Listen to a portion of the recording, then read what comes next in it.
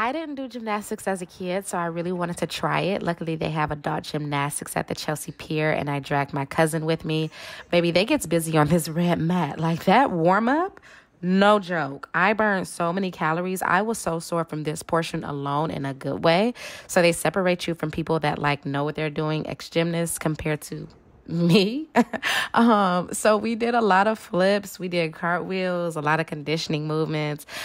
It was a good time. Like I thought we thought that we were killing it. And then I look back at the footage. No, babes. Did not kill it, but 10 out of 10 would recommend.